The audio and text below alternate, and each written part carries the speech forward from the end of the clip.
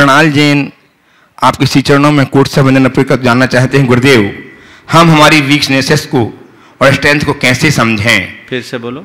हम हमारी वीकनेस और स्ट्रेंथ को कैसे समझें? अपनी कमज़ोरी और ताकत को कैसे समझें? देखिए बहुत अच्छा सवाल है।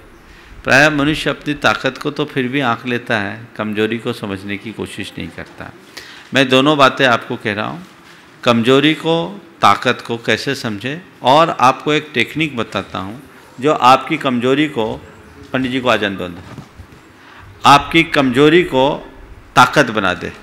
समझ गए? आप चाहते हैं कि मेरी कमज़ोरी मेरी ताकत बन जाए तो उसके लिए क्या करें? देखिए, सबसे पहले तो अपनी कमज़ोरी को पहचानने की कला आपको बता रहा हूँ।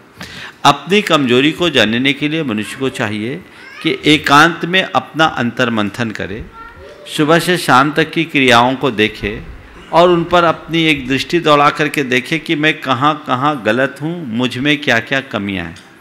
अगर आपने उनकी ठीक रीति से समीक्षा करनी शुरू कर दी शुरू कर दी तो आप अपनी कमज़ोरी को बहुत अच्छे तरीके से समझ सकते हैं।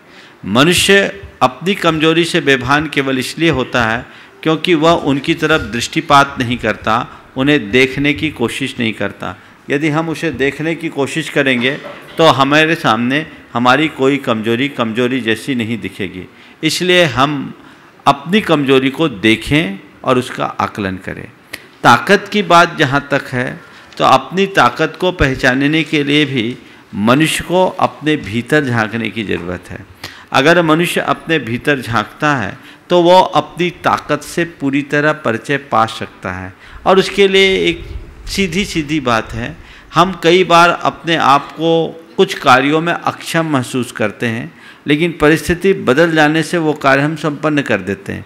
एक उदाहरण हम आपको दे रहे हैं। ऐसे आपसे कोई कहे कि दो चार किलोमीटर पैदल चलना है तो शायद आप चलने के लिए तैयार नहीं होंगे।